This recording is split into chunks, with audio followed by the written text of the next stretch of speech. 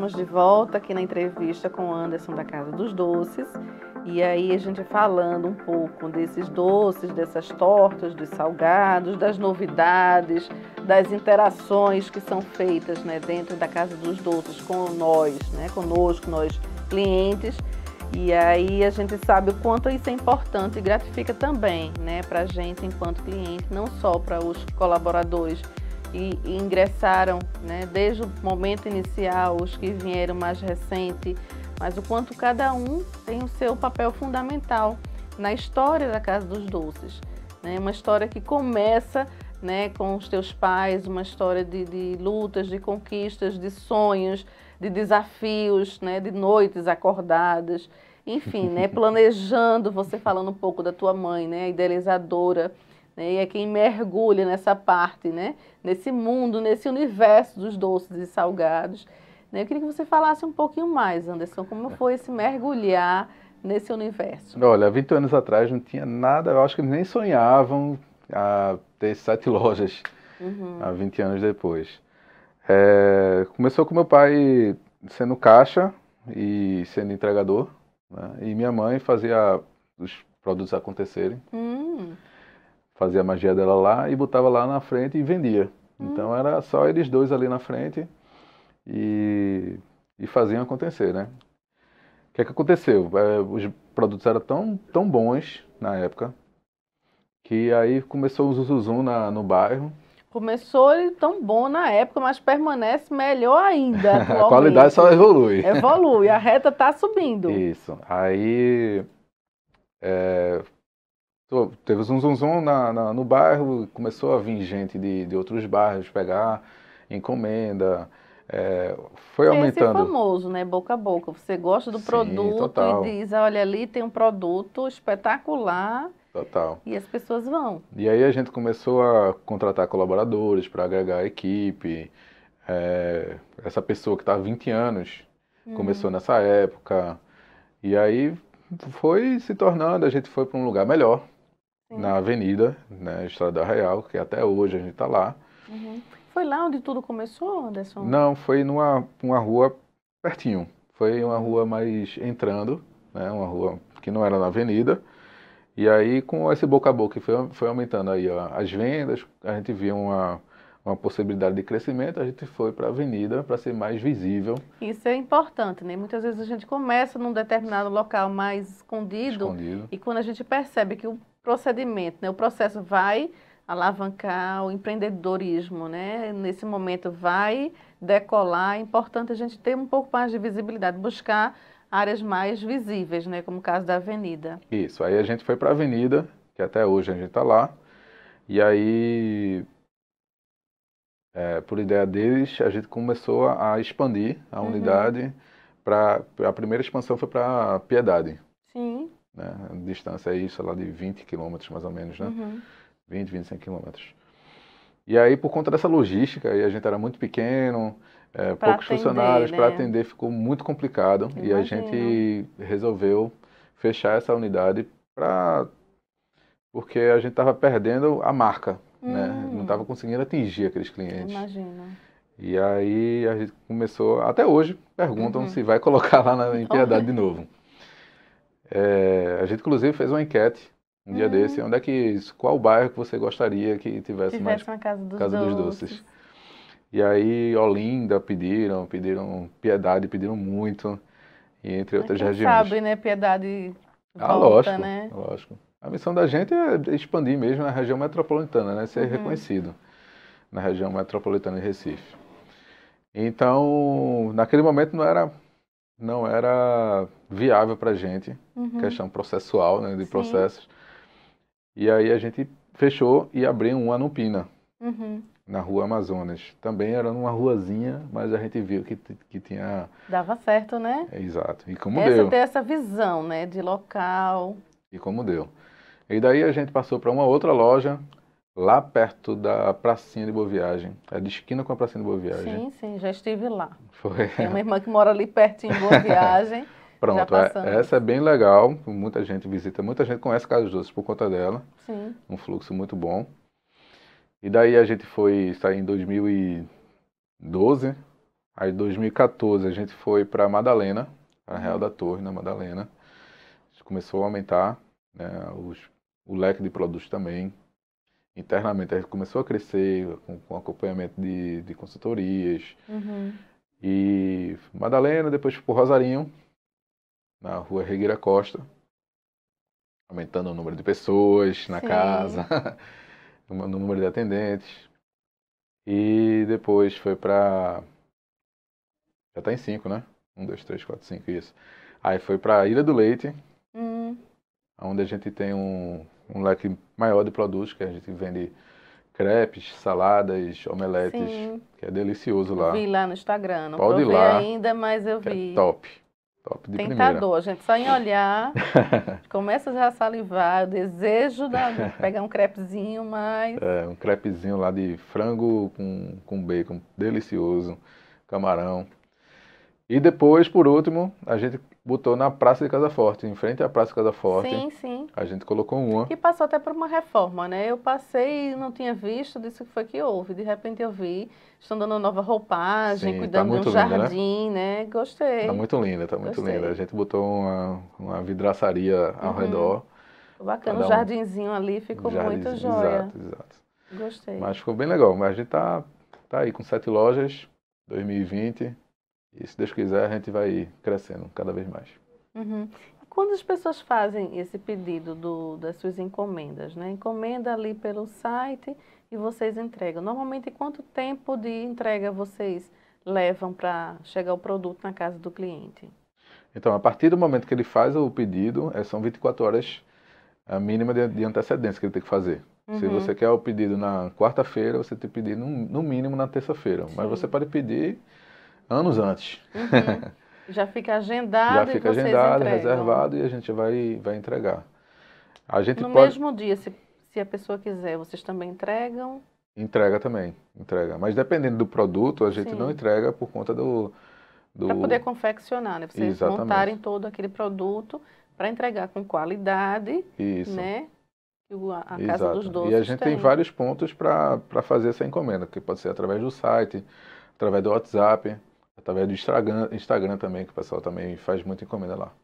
E aí vocês podem entregar, hum, de preferência que façam esse pré-agendamento, né? Mas dependendo do pedido do dia, vocês podem atender.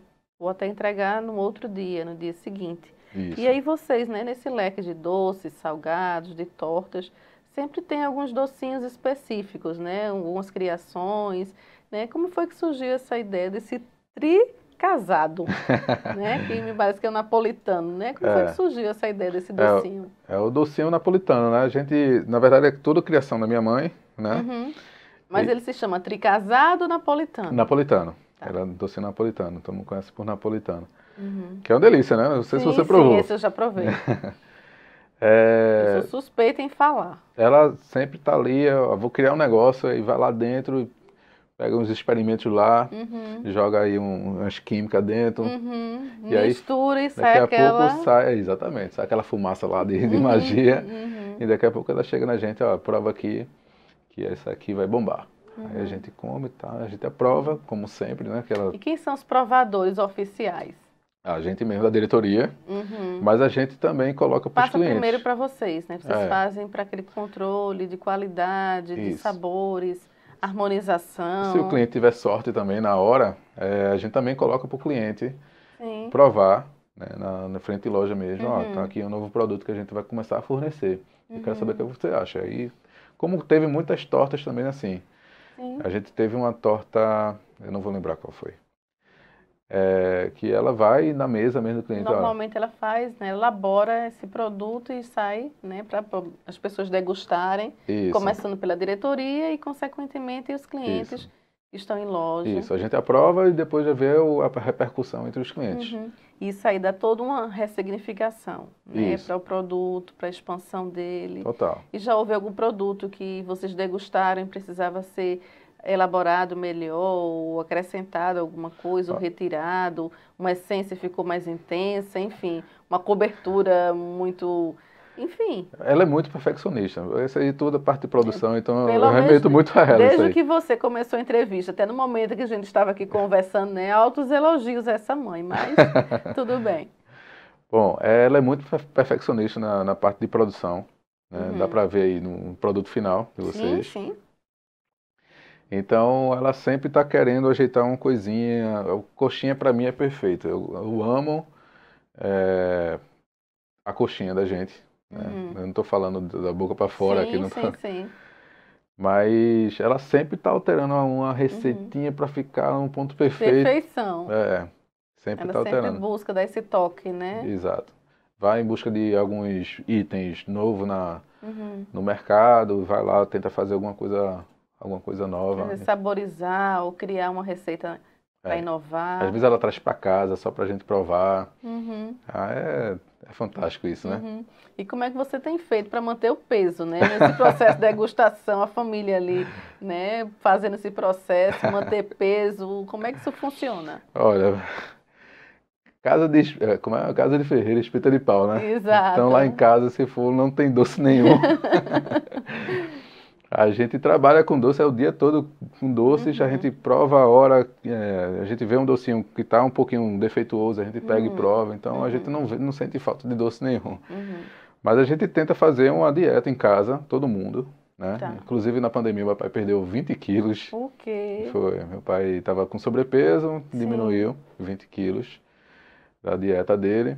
E todo mundo tenta fazer uma dieta em casa, então é, a gente tenta ter uma alimentação saudável uhum. em casa. Em contrabalança, minha mãe adora cozinhar muitas muitas coisas de sobremesa. Tem habilidades, né? E Isso. Aí... É, na pandemia, no lockdown que teve aqui em, Recife, uhum. ela só fazia sobremesa, eu comia tudinho, eu aumentei demais. E não... Quer dizer, seu pai foi perdendo e você foi adquirindo, eu fui achando. né? Ele foi perdendo, eu fui achando. Uhum. E aí eu só fiz comer nessa pandemia, nesse, nesse lockdown. Uhum. Mas é, é, isso que acontece. Mas mesmo mantendo né, essa alimentação saudável que vocês né, adotam enquanto família, né, apesar de estar ali né, no dia a dia, na casa dos doces, né, acompanhando essa confecção de todo esse produto, né, elaboração de todas essas experiências né, de produtos novos, fazendo mesmo a ingestão, mas vocês também não deixam de saborizar esse doce, não deixam de saborizar essa torta, né, mantendo né, esse equilíbrio, mas é possível sim a gente comer uma fatia de uma torta, comer um salgado, comer um doce, mantendo o equilíbrio. Exato, né? exato. A gente não Porque pode tem pessoas que dizem, né, não vou comer uma torta, não vou comer um salgado, eu vou engordar, a pandemia contribuiu, mas é possível. É, até para a saúde mental também, eu acho que intribui, é, contribui também, né? Verdade. Você falou logo no início aí da, da felicidade que traz um, um, um, docinho, um brigadeiro. Exato. Então, a gente não está fazendo para prejudicar a saúde da população, a gente está fazendo aí para reunir, reunir as pessoas, ter uma, uhum. uma, vamos dizer assim, uma social uhum. com essas pessoas, comendo produto de qualidade. Uhum. Então, a gente não está fazendo para prejudicar, a gente está fazendo para melhorar a população, né? O pessoal está muito vidrado também no celular, no Preso. seu mundinho. Exato. E a gente quer que isso termine, né? E o quanto a Casa dos Doces, né? Tem entrado nas famílias, tem entrado nas instituições, tem entrado em vários locais, né? Desde uma recepção entre amigos, a um aniversário, né? A um café da manhã que quer se fazer diferente, que vocês também proporcionam, né?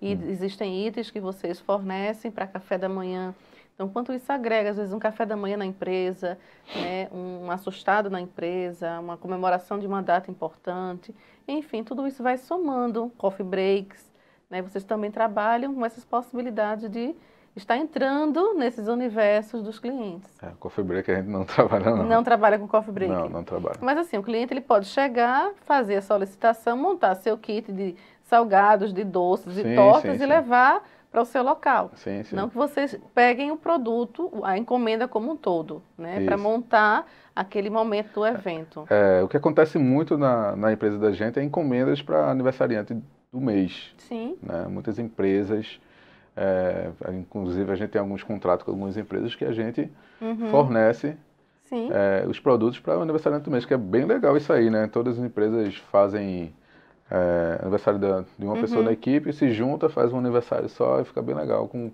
os produtos da gente. E como é que ficou, Anderson, essa questão da pandemia e essa retomada da Casa dos Doces? Bom, na pandemia, a gente não posso dizer que foi um, um, um teve, teve um lado positivo nisso aí. Não posso dizer que foi, foi bom ter vindo a uhum. pandemia. Uhum. Mas o lado positivo foi o profissionalismo que a gente evoluiu dentro da empresa. Né? A gente enxergou coisas que a gente deveria ter feito antes, né? Uhum. Quando, como deu uma parada, né? Deu então, para dar uma organizada uma melhor, Uma organizada, né? exatamente. Por exemplo, reuniões de resultado que a gente tinha uma vez por mês. A uhum. gente passou a ter Sim. semanal. Então isso aí dava uma clareza muito grande para a gente saber se a gente estava indo bem uhum. ou estava indo mal naquele mês. Então a gente passou a ser semanal. É, reuniões com contabilidade, entre uhum. outras coisas internamente que a gente melhorou bastante. E aí nesse processo de retomada, né, a gente, eu acredito que quem sentiu mais fomos nós clientes, né, pela sentir o saborzinho. Acho que a nossa vida ficou nessa pandemia um pouco mais amarga, né, porque não tinha os docinhos da casa do doce para adoçar a nossa vida, mas a retomada eu vibrei, né, desse, até que enfim reabriu. E, e, vocês reabriram com horário reduzido. Quando eu pensava, acostumada com o horário, quando eu vi a porta fechada, você não acredito, já estão fechados mas tudo em função né, desse bem-estar, dessa retomada. Né? E aí vocês retomaram com todo o protocolo né, de higienização, Sim. eu já percebo, a gente quando entra, a gente já visualiza né, o álcool em gel na porta, Isso. o distanciamento, né, todo um cuidado que os colaboradores têm tido, né, para né, não só a frente de loja, mas como uma pessoa da produção também tem um uhum. tem todo um processo para entrar na produção. Eu falo assim frente de loja porque é por onde a gente tem mais Exato. acesso, né? Exato. E acredito que vocês estão tendo também todo um protocolo, né, de cuidados de acordo com o que a vigilância solicita. E aí eu gostaria, né, de agradecer a você por você ter cedido essa entrevista para o programa Mulheres. Né, mas o nosso tempo já vai terminando e eu gostaria que você deixasse uma mensagem para nossas telespectadoras. Bom, Valesca, muito obrigado aí pelo convite, tá? É, pessoal, siga a gente no Instagram, né, arroba Casa dos Doces. A gente tá lá com várias promoções, com várias, várias novidades e vamos passar por isso tudo, se Deus quiser, ilesos, não, não, não só na parte é, profissional, mas na parte pessoal, todo mundo consciente do que está fazendo. Então é isso. Muita saúde para todos. Obrigada. Pedir para que vocês acompanhem-nos através do blog www.revistagoodpe.com.br, Instagram GoodPE TV, YouTube GoodPE Comunicação, Facebook Revista GoodPE, Twitter Revista GoodPE, LinkedIn Pedro Vidal. Tenham todas uma boa semana e voltamos a nos encontrar no próximo programa Mulheres.